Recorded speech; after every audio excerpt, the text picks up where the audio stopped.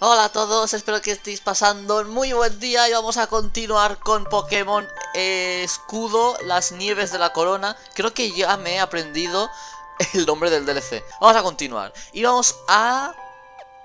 Al campo bajo cero, que me hace gracia el nombre. Con lo poco que me gusta el frío y encima, encima con cachondeo. Campo bajo cero. Vale, por aquí no hemos ido. Eh, así que vamos a explorar un poco esta zona, a ver qué hay. Vamos a ir con la bici porque si no vamos a tardar tres años.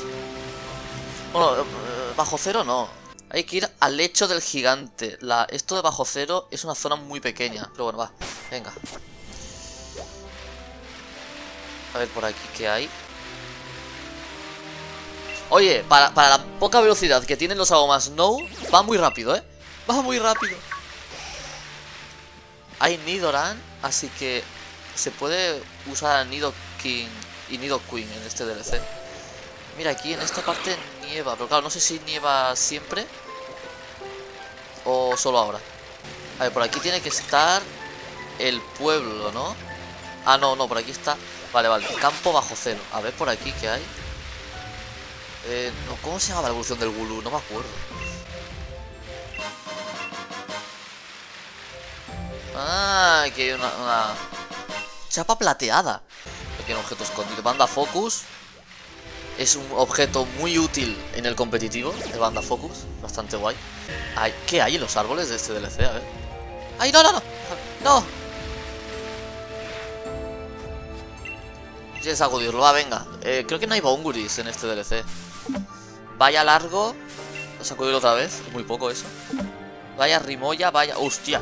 Ya está, ya está, parar. Estos son bastantes vallas. Dos vallas largo, una valla rimoya, una valla rich. Hostia, son vallas buenas, ¿eh? Rimoya, si no recuerdo mal, era... Era una valla que reducía un ataque de tipo hielo o algo así. No, no me sé los nombres de memoria. Vamos a ir aquí, al, lado, al lecho del gigante. Mira, aquí es donde están los Rex. Pero vamos a acabar... ¿Eso se puede ver en el mapa? Está aquí, pero no se ve. Me encanta porque en el DLC anterior vi esto y dije, parece una corona. Y yo no sabía, o sea, en el DLC este hay un montón más. Y no me he fijado, me acabo de fijar ahora de que estas coronas son simbolizan la hierba. la hierba en el mapa y no lo sabía. Bueno, ya me acordaré que estas ruinas están aquí. Vámonos. Vamos a terminar primero la primera leyenda. Vamos a ir en orden. Primero hacemos la primera leyenda, que era la del rey de las cosechas, que es la de el Pokémon ese, que no me acuerdo ahora cómo se llama. Y después iremos pues en orden, la leyenda 2, la 3 y la 4. Espero que esta zona no sea siempre de nieve, porque es difícil de explorar con nieve. Es una zona grande, las cosas como son. Y con nieve es difícil de ver.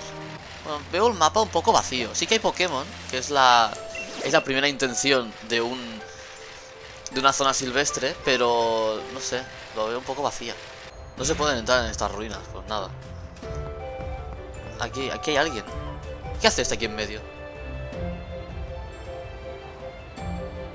Aún tengo, aún tengo curiosidad de qué es la semilla de zanahoria esa que había en la villa o algo así que se llamaba.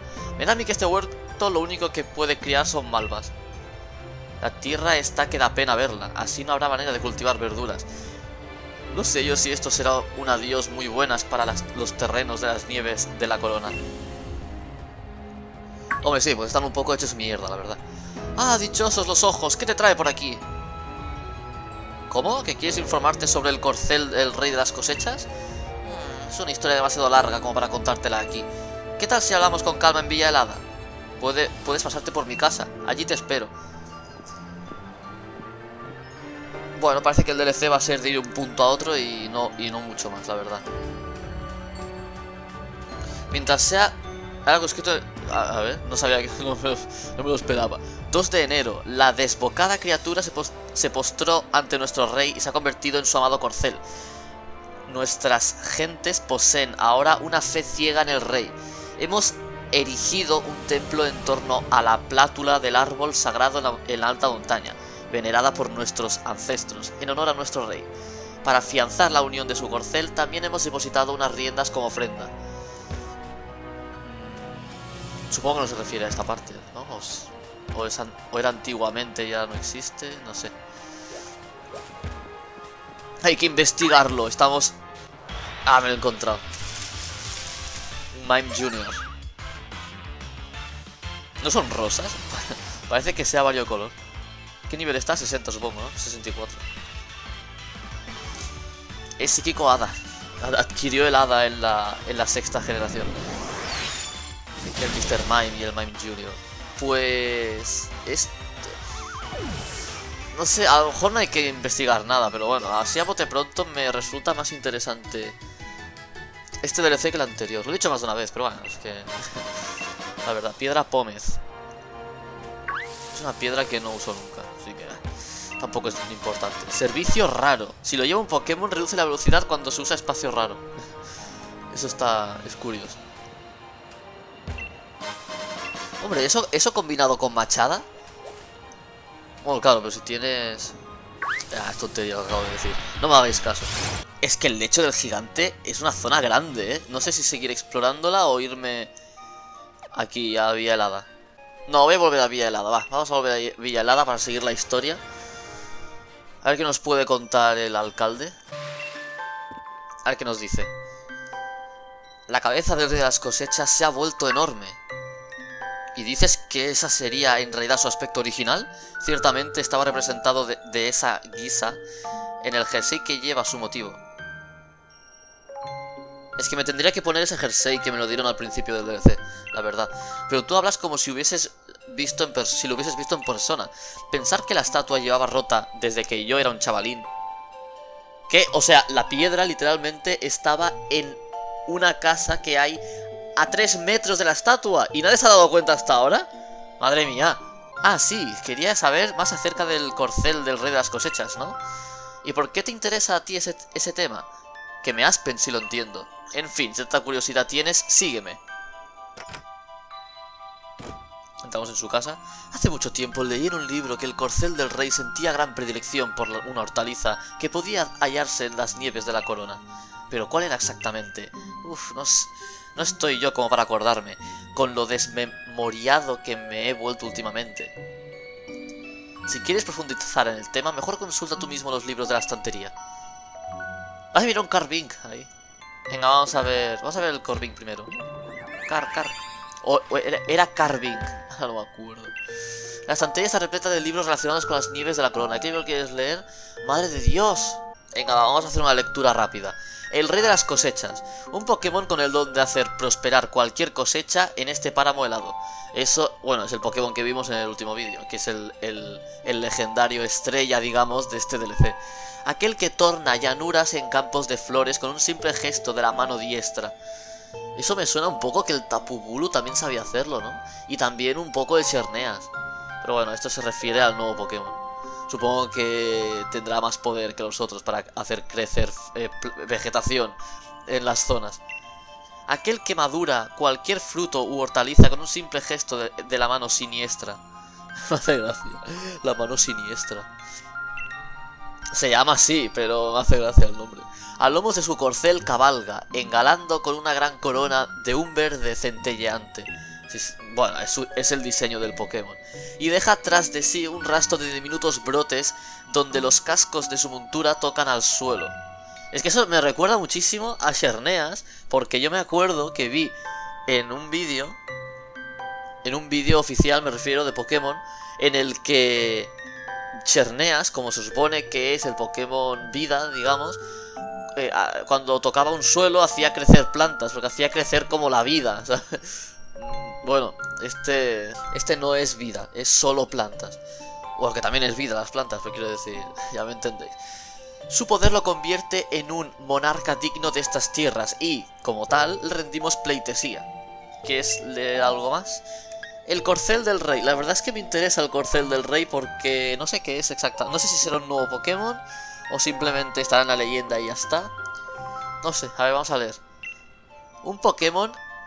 Es que ya me han dicho que es un Pokémon. La primera palabra, un Pokémon, ya está. Un Pokémon que hace las veces de leal montura y eterno compañero de fatigas de su majestad. Tamaño es el poder que blanden unidos que podrían crear un bosque de la noche al alba. En el pasado asaltaba a placer las cosechas de la región y llegó a causar verdaderos estragos, por lo que las gente lo tildaron de calamidad. El rey terció en el conflicto y doblegó al corcel para calmar el instinto salvaje que lo dominaba. O sea que el corcel es como...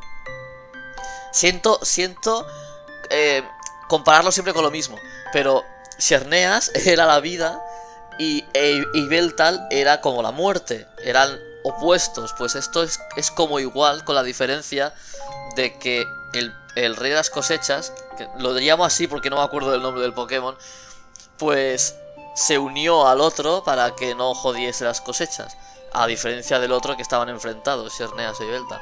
Bueno, creo que la historia de Xerneas y Beltal nunca se llegan a cruzar, pero bueno, a lo mejor en un texto del juego que, no me acuerde, que en alguna librería lo dicen y no me acuerdo.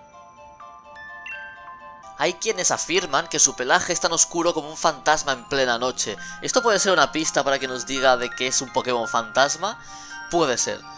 Otros tan claro como un manto de hielo recién formado.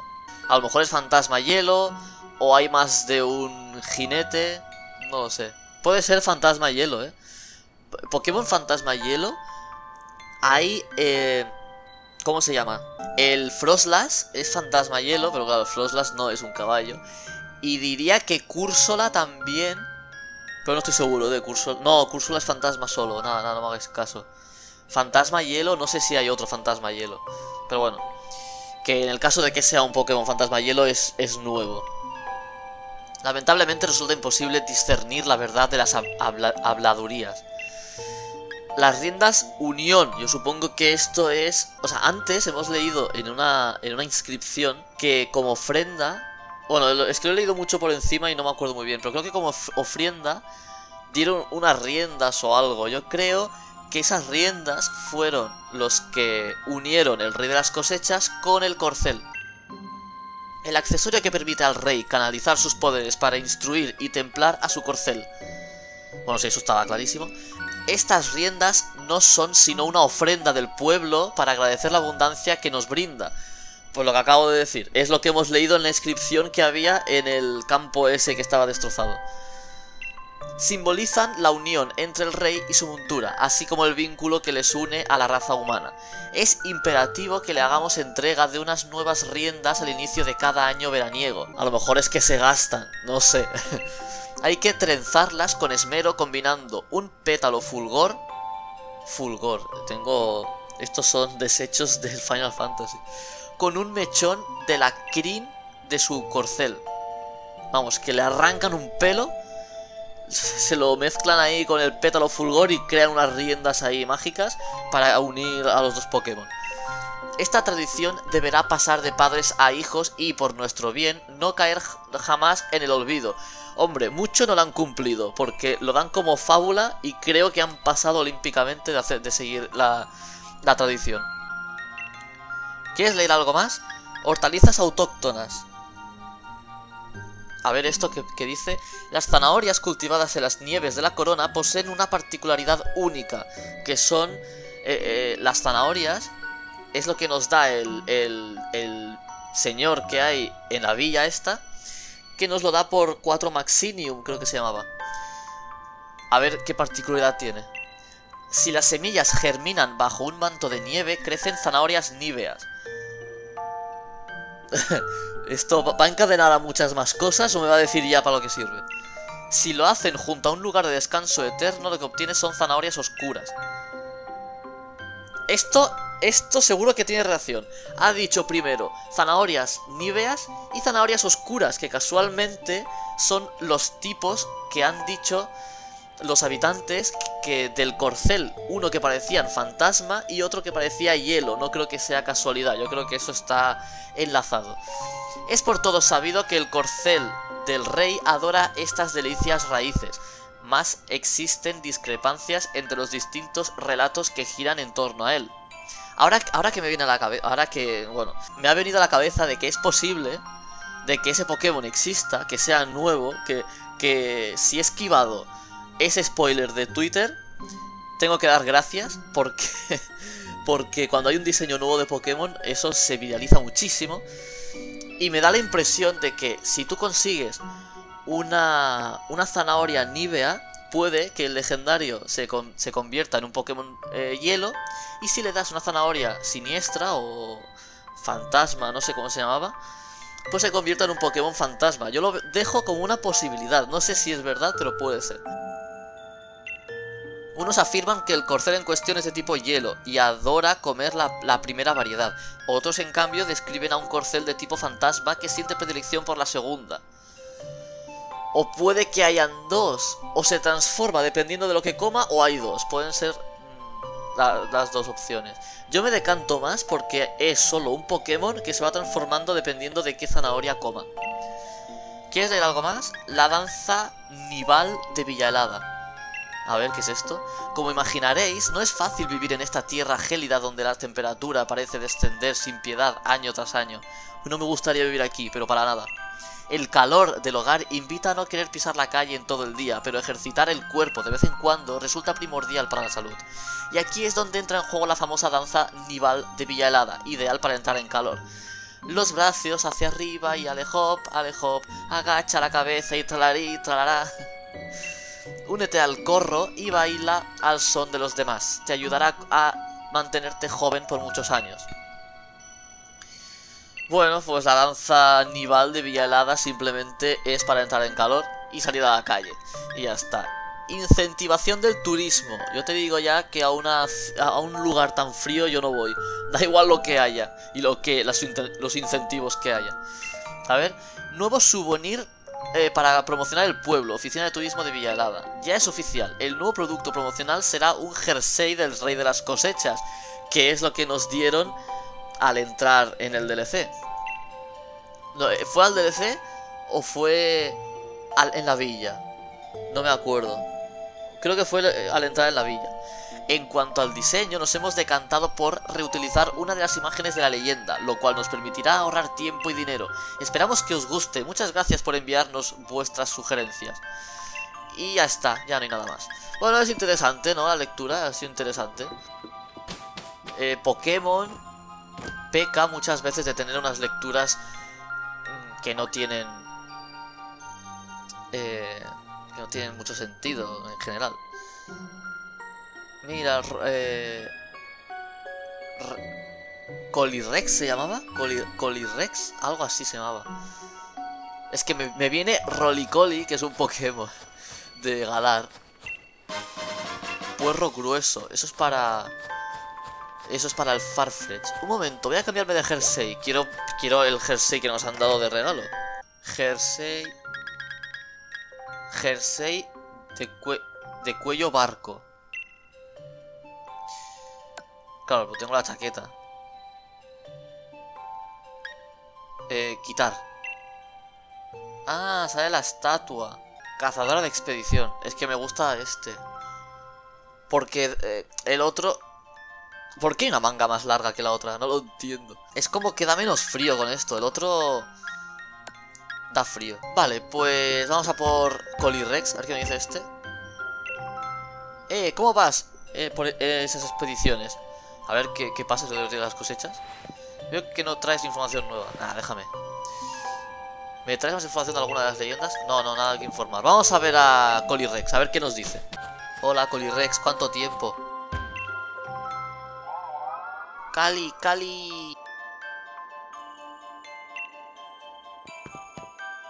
Ah, claro, tenía que aparecer él porque tenía que poseerlo el Calirex. ¿Eh? Ah, hola, comandante. Ya decía yo que alguien me estaba llamando. ¿Eras tú? ¿Eh? ¡Ah! Ya la puedo poseer otra vez. Niño humano, ¿has logrado averiguar algo sobre mi leal corcel? Dice, sí. ¿Dices que has descubierto algo por lo que mi corcel sentía profunda devoción? Sí, las zanahorias. Nuestras vivencias se remontan a tiempos tan lejanos que no logro recordar qué podría ser. Aunque quizá podríamos captar su atención si se hallara en nuestras manos. Dime, ¿de qué se trata en concreto? Hombre, a ver, eh, yo creo que el jersey no tiene nada que ver. Eh, las zanahorias es lo que le gustaba al corcel. Hemos leído muy atentamente todos los textos que había en la librería del alcalde y yo creo que son las zanahorias. Ah, zanahorias. Ahora que lo pienso, ante la mera visión de cierta hortaliza se lanzaba con tal ímpetu que debía hacer acopio de todas mis fuerzas para refrenarlo. En efecto, bien podría tratarse de zanahorias. Una vez más demuestras tu valía, niño humano. Niño humano. Es que me sigue haciendo gracia lo de niño humano. De tener en nuestro poder alguna zanahoria, podríamos usarla como cebo para atraer a mi fiel corcel desde donde quiera que se encuentre. Me pregunto si los habitantes de la villa aún los cultivarán. Una semilla bastaría. Yo podría hacerla germinar. Has actualizado leyenda 1 con tu progreso actual. Para encontrar el corcel del rey de las cosechas hay que buscar las zanahorias que tanto le gustaban. Es posible que los habitantes de Villalada sepan algo al respecto. ¡Hombre! Sí, este señor me daba semillas. Este de aquí, el que está mirando los huertos todo el día. ¿Zanahorias dices? ¿Para qué las necesitas? No creo que encuentres ninguna en esta época. Si te interesan, lo que sí tengo son semillas. ¿Me cambias 8 fragmentos por mis semillas? ¿No eran 4? Maxinium. No, no tengo. O sea, no tengo ningún otro plan para esas semillas, así que si cambias de opinión aquí las tendrás. Pues nada, vamos a tener que conseguir Maxinium, así que... y, va a dejar al, hombre ese, al pobre hombre ese así hasta que consiga las semillas. Un poco raro. Pues en el siguiente vídeo lo que podríamos hacer es una aventura Dynamax de esas, tochulas, para conseguir legendarios. A ver si esta vez no tengo tan mala suerte con los compañeros. Y así consigo Maxinium para poder conseguir la zanahoria, porque no, no no tengo Maxinium suficientes y no sé cómo se consigue Maxinium. Supongo que a lo mejor con incursiones normales también se puede llegar a conseguir Maxinium, no lo sé. Lo miraremos en el próximo vídeo, en este lo vamos a dejar aquí ya. Así que lo dejamos aquí, dale me gusta si te ha gustado, suscríbete si quieres apoyarme y quieres ver más vídeos míos y nos vemos en el próximo vídeo. Adiós.